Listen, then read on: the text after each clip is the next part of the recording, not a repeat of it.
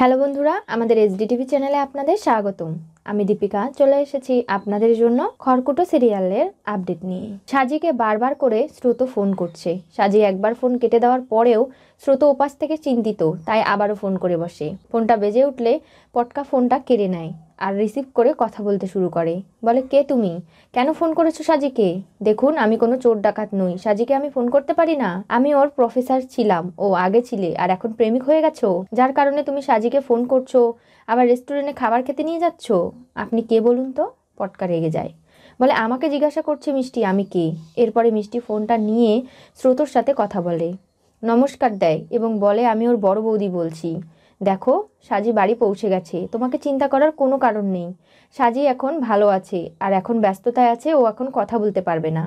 তাই বলছি, তোমরা যে রেস্টুরেন্টে খাবার খেতে গিয়েছিলে, তোমরা দুজনে একে অপরের সাথে সম্পর্কে জড়িয়ে পড়েছো, এগুলো আমাদের না জানিয়ে কেন করেছ? দেখুন, সাজি একজন অ্যাডাল্ট ও কি ছোটো কুকি বাচ্চা নাকি? আমি ওকে জোর করে কি কোনো কিছু করিয়েছি? ও আমার সাথে সম্পর্কে জড়ালে দুজনের সম্মতিতেই আমরা জড়িয়েছি। দেখো, আমাদের পরিবারে এরকম চল নেই, সেটা আমি জানি। সাজি আমাকে আগে থেকেই বলে রেখেছে। আপনাদের পরিবারটা মিউজিয়ামে থাকা উচিত। সেটা এখানে কেন রয়েছে? আপনারা সাজির সাথে যা ব্যবহার, আচরণ এখন করছেন, সেটা কিন্তু মেনে নেওয়া যাচ্ছে না। গুনগুন রেগে যায়।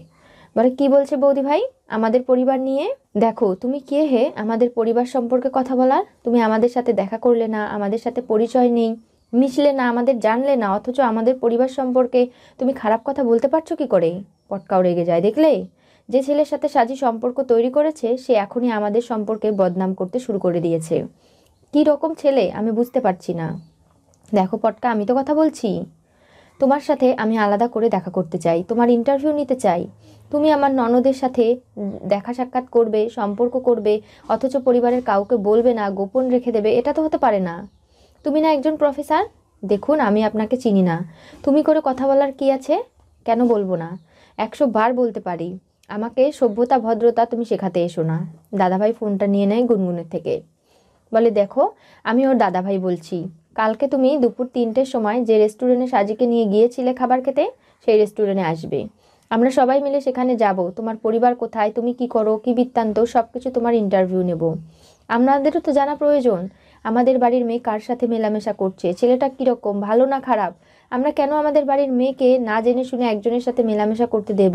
সেটা তো অন্যায় হয়ে যাবে। আর আমরা তো কালকে নিজে চোখে দেখলাম যে তোমরা একে অপরের সাথে রেস্টুরেন্টে খাবার খেতে গেছো। আর লুকোচুরির কোনো কিছু নেই। ঠিক আছে, আমি যেতে পারব কি না আমি জানি না। কারণ আমার ইউনিভার্সিটিতে ক্লাস রয়েছে, সেখানে আমি ক্লাস করানোর পরে সময় পেলে যাব। তার মানেটা কি? দায়টা আমাদের পড়েছে? আমরা তোমার জন্য অপেক্ষা করব? দেখো শ্রুত, তোমার জীবনে কাজটা প্রথম প্রায়োরিটি নাকি সাজি প্রথম প্রায়োরিটি সেটা তোমাকেই প্রমাণ দিতে হবে। তুমি যদি কালকে না আসো, তাহলে সাজির সাথে তোমার সম্পর্ক সারা জীবনের মতো এখানেই শেষ হয়ে যাবে। আর তুমি যদি আসো, আমাদের সাথে কথাবার্তা, আলাপ আলোচনা করো, তাহলে সব কিছু মিটেও যেতে পারে। আপনারা কি এখন জনে জনে ফোন করে আমাকে জ্ঞান দেবেন নাকি? এই সমস্ত জ্ঞান কিন্তু আমার ভালো লাগছে না। দেখো, আমার যেটা বলার ছিল, সাজির দাদাভাই হিসাবে আমি সেটা বলে দিয়েছি। এখন তোমার ব্যাপার তুমি কি করবে? সাজিকে তুমি কতটুকু ভালোবাসবে, সেটার প্রমাণ দেওয়ার সময় চলে এসেছে। ফোনটা রাখা মাত্রই পটকা রেগে যায়। বলে, দেখছ, ছেলেটা চ্যাটাং চ্যাটাং করে কথা বলছে?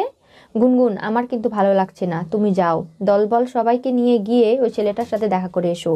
ওর বাড়ির প্রয়োজন হলে যাবে।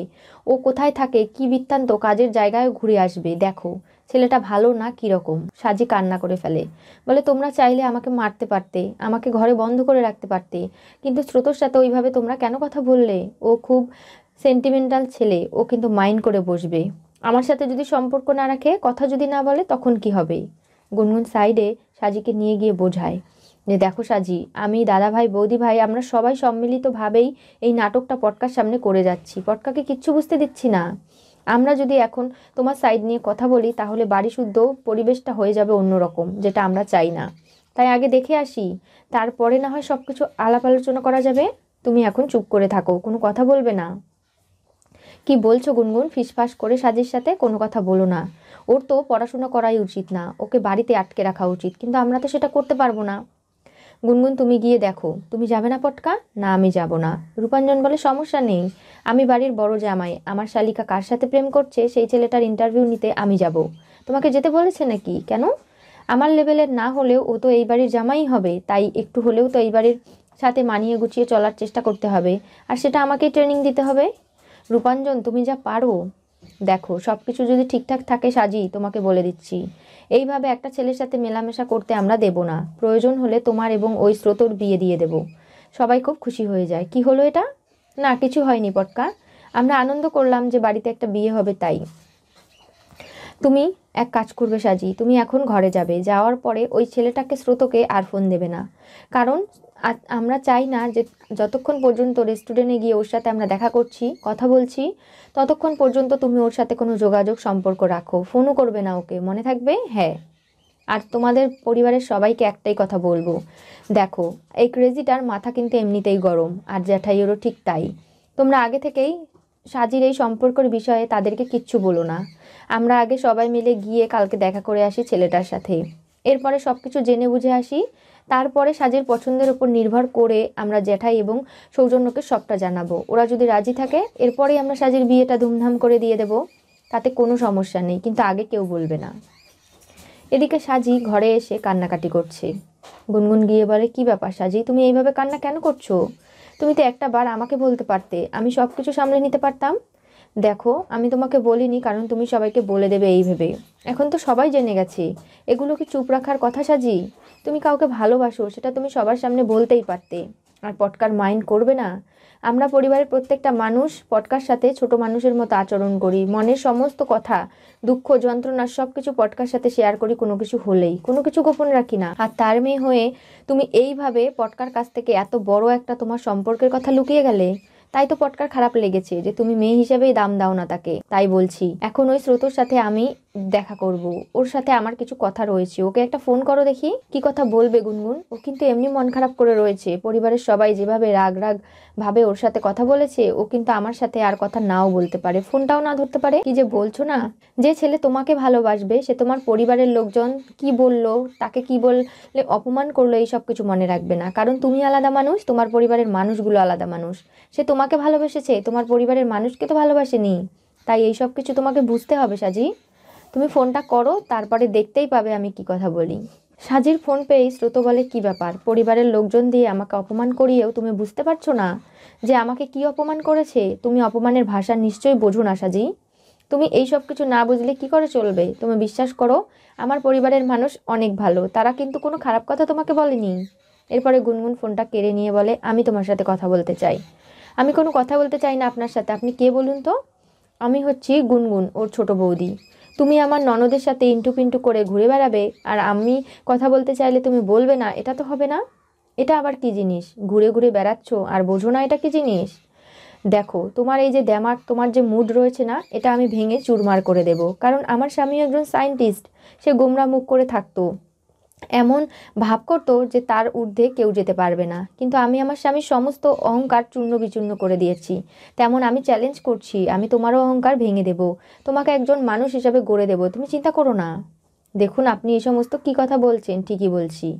স্কুল, কলেজে কখনো অভিনয় করেছ? না, করিনি। তাহলে কালকের দিনটা অভিনয় করো। দেখো, সাজিকে যদি পেতে চাও, তাহলে পরিবারের বাকি সদস্য যারা আমরা যাচ্ছি, তাদের সবার তোমাকে মন জয় করতে হবে। আর তুমি যদি সেটা করতে পারো, তাহলে তুমি সাজিকে পেয়ে যাবে। আমি তোমার এবং সাজিকে মেলানোর জন্য তোমাদের পাশে রয়েছি। আমার কথাও তোমাদের শুনতে হবে। তাহলে দেখবে সব কিছু ঠিক হয়ে যাবে। আমি আপনার পরিকল্পনা অনুযায়ী চলতে চাই না। তুমি কে? আমার পরিকল্পনা অনুযায়ী চলবে না? তাহলে তুমি চাইছো না যে আমার ননদের সাথে তোমার বিয়েটা হয়ে যাক? স্রোত রাজি হয়ে যায়। কালকে তার ইন্টারভিউ নিতে গুনগুন এবং তার গ্যাংয়েরা যাচ্ছে। এরপরে স্রোতর যে কী অবস্থা হবে, সে নিজেও হয়তো বুঝতে পারছে না। কোন পাগলের পাল্লায় গিয়ে পড়বে। কারণ স্রোত একজন প্রফেসর, সে খুব অল্প কথা বলে।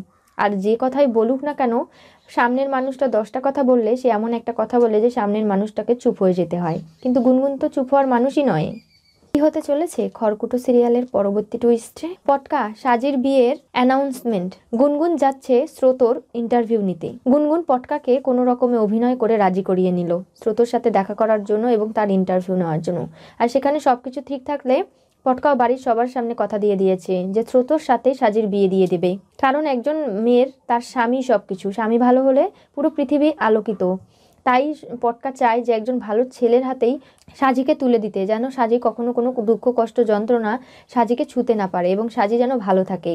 তাই পটকার সিদ্ধান্ত শুনে পরিবারের প্রত্যেকটা মানুষই খুশি হয়ে যায়। এরপরে স্রোতর ইন্টারভিউতে কি করতে চলেছে গুনগুন, সেসব জানতে হলে অবশ্যই করে আপনাদের চোখ রাখতে হবে আমাদের চ্যানেলে এবং নতুন নতুন আপকামিং টুইস্ট পেতে আমাদের চ্যানেলটিকে অবশ্যই করে সাবস্ক্রাইব করুন লাইক শেয়ার কমেন্ট করতে ভুলবেন না এবং পাশে থাকা বেল বাটনটি অবশ্যই করে ক্লিক করুন।